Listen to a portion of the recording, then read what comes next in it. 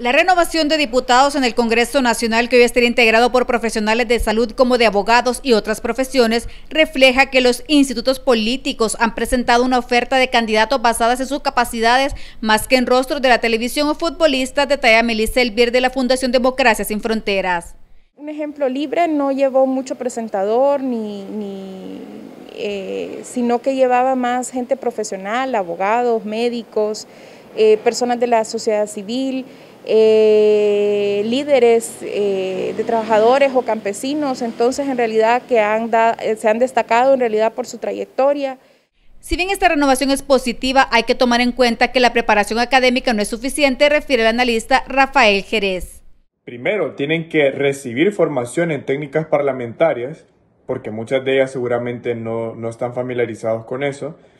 Y por otra parte, eh, pues tienen que dar el paso, ¿no? De no ser solo diputados que se oponen o que levantan la mano, sino que realmente tienen una agenda legislativa. La participación de un número significativo de profesionales de la salud está en gran medida motivada por la mala gestión de quienes han gobernado por 12 años consecutivos que poco o nada han hecho a favor del pueblo, expresa la doctora Suyapa Figueroa porque hemos visto a la gente morir en los hospitales, hemos visto cómo se roban el dinero, el presupuesto de salud se lo han robado en el 50% prácticamente de su presupuesto. Y vemos todos los días a la gente sin exámenes, sin medicinas, sin posibilidades, morir cuando pudieron vivir. Hemos visto cómo han desmantelado la Secretaría de Salud, cómo se reparten, cómo se lavan activos a través de la Secretaría de Salud. El doctor José Manuel Mateo manifiesta que desde el Congreso Nacional no permitirá más corrupción y envía un mensaje a quienes recurren a esas prácticas reñidas con la ley. Nosotros tenemos un búnker para descubrir las cosas sucias y se las hemos agarrado todas.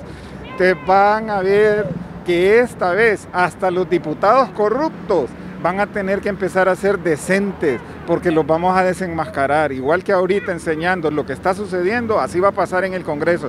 Así que vayan poniéndose listos porque si no van a terminar presos todos. Esto es delito electoral.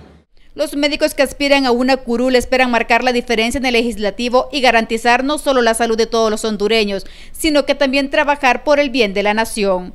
Desde Suyapa Medios y Notifides le invitamos a que juntos erradiquemos el coronavirus. Con imágenes de Nelson Montes les informó Delerita.